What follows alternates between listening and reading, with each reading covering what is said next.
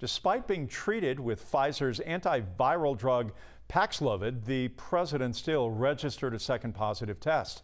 The diagnosis is raising a lot of questions about testing positive again so quickly. Abby Llorico joins us now to verify. Over the course of the pandemic, we've learned not only can you get COVID-19 more than once, these positive tests can happen quickly. And now we're seeing the same infection can even rebound and make you sick all over again.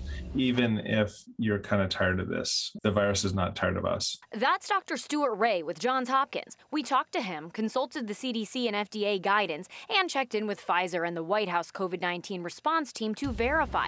What do we know about COVID-19 rebound cases? This is a pattern we're seeing that people will uh, report that they recently had COVID and now they're sick again. This CDC health advisory defines COVID 19 rebounds as a recurrence of symptoms or a new positive test after having tested negative, happening two to eight days after initially recovering from the virus. The virus may be sort of evolving in that person, or it might just simply be replicating in that person for a while and then it gets the upper hand at least for a while and causes a rebound. It's like a zombie type of thing where it comes back to life within them in some ways. That's right. And and the diff- distinction is it's never dead. This happens in 2 to 8% of COVID cases according to the White House. In a July 21st press briefing, Dr. Ashish Jha says all the data he's seen shows it's quote not that common. President Biden's rebound case happened after treatment with Paxlovid, an antiviral authorized to treat COVID-19 symptoms.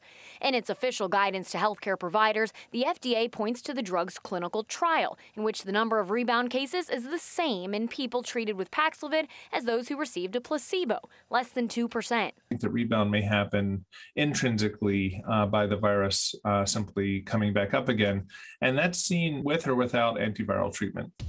That's why the CDC continues to recommend Paxlovid for COVID-19 patients at high risk for getting severely sick. And the guidance remains isolate after a positive COVID-19 test, even a rebound. Though at this time, the CDC says all of these cases have been mild, and it's not recommended someone get another round of antiviral treatment.